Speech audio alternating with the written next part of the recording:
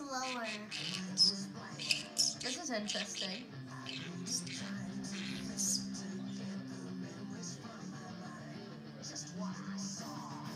It's weird. I have no clue what this is.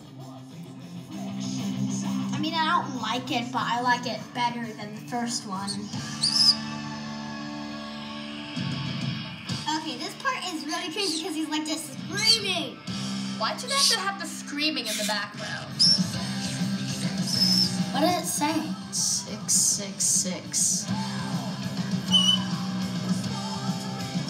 I like this. I like the beat. What? I like the guitar part. It's very, very rock and roll. I can still see how people would like it. I just don't like it. It was nice. But crazy! Jesus, that started so fast.